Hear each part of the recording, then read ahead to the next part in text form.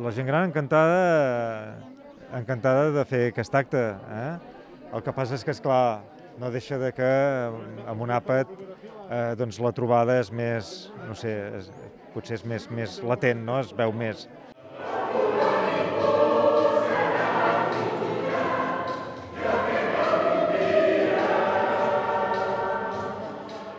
Maià de Montcal va celebrar diumenge la 26a edició de la Festa d'Homenatge a la Bellesa.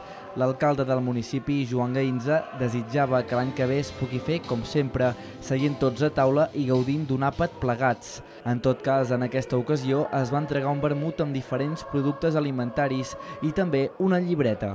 Bé, jo crec que la gent gran és el més important que ens pot passar doncs, que ens hagi pogut passar durant aquests últims temps. Jo crec que la gent gran ens ha ensenyat, la gent gran eh, ens, ens ha recolzat eh, i és un reconeixement a tota aquesta vida al poble i pel poble.